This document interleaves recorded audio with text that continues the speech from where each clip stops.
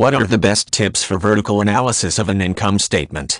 The vertical analysis of an income statement is an effective way to compare different statements by rendering all items on the statement as a percentage of sales. By doing this business management can compare the statement not only to the performance of previous years but also to its competitors in the market. It is important for those performing a vertical analysis of an income statement to focus on the percentages and not the raw numbers. They should also be on the lookout for big percentage changes from previous years or from their rivals so they can ascertain what areas of the business need improvement. An income statement is a financial document required of most businesses that shows the net income earned during a particular time period which is usually one year. The statement amasses all expenses and then subtracts them from all revenues earned during the year. Analyzing this statement is an important part of the business process for those companies who wish to improve on what they have done in the past. Performing a vertical analysis of an income statement has many benefits.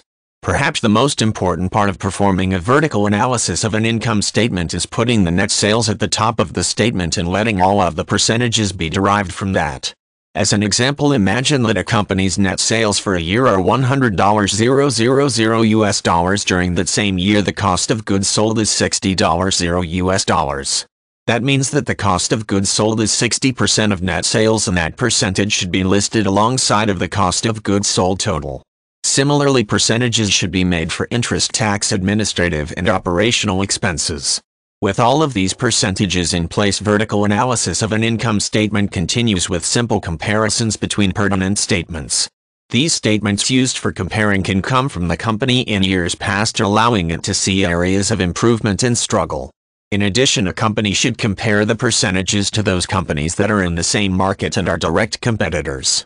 Finding areas of significant disparity is one of the goals of vertical analysis of an income statement. Financial managers should be on the lookout for why one item is not in line with other statements.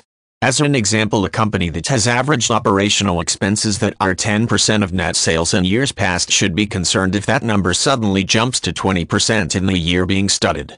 This information can help the company explore areas where things can be done more efficiently thus improving the bottom line.